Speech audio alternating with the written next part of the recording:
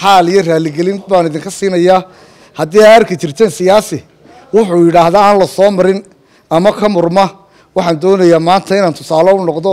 Xildhibaan axmed nuur guruuje oo ka mid a mudanayaasha golaha wakiilada somalilan ayaa shacbiga ku dhaqan gobolka saraar iyo magaalada caynaba raaligelin buuxda ka siiyey hadal ay dhibsadeen oo maalnimadkii shalay aha isaga ka soo yeedhay.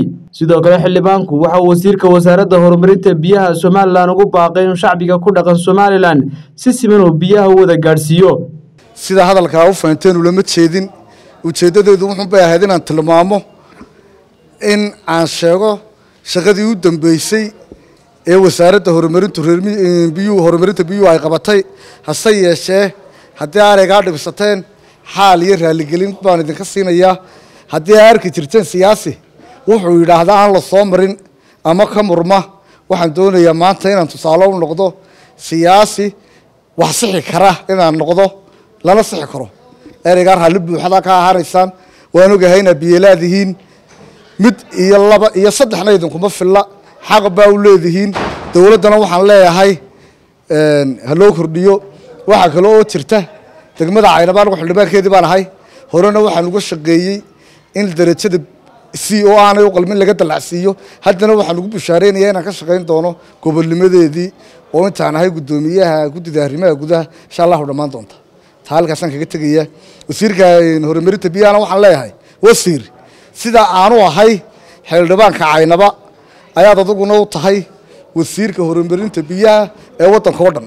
Warbixintaadii shalay waxaad sheegtay inaad ribeergareen ku samaysay riigga biyaha ee badar wanaag.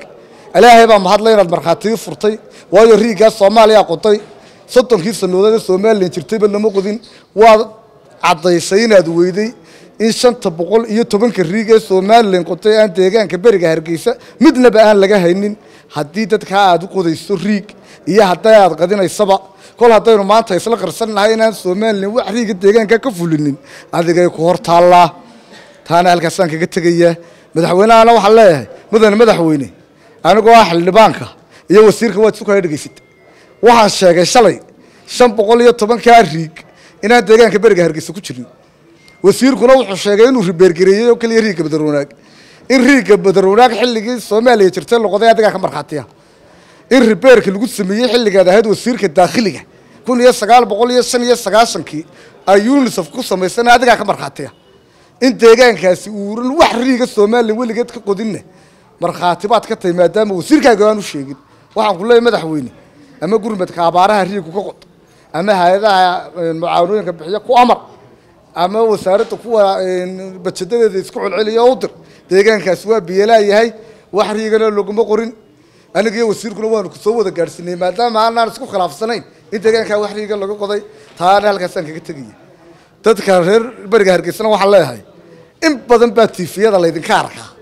Idinka kuwa ama nabadgelyada ka hadlaya ama muddo kordhin ka hadlaya ama xukuumadda ka hadlaya. Maanta laba qodobun baan idin leeyahay.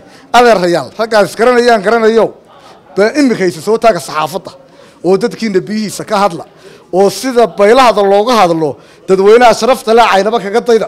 Ibrahim jokar c b a t v. Hargeysa